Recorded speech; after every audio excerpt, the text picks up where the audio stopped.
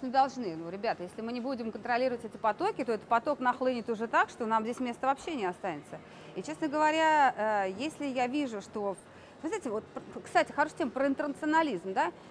А Я жила в советские времена, и у нас он был, интернационализм. Но когда я вижу, что сейчас идут э, в одном кафе, сидят люди одной четкой национальности, во всех дворах люди тоже другой национальности, я понимаю, что это не интернационализм, это какой-то э, уже, так сказать, сговор и какой-то захват.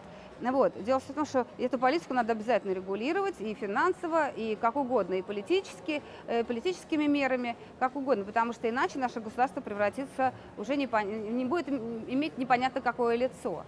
Вот. Тем более люди едут сюда без образования, без... Э, они просто буквально вот э, вчера пасли овец, а завтра они кладут плитку. Просто я имела опыт, вы знаете, я нанимала таких рабочих.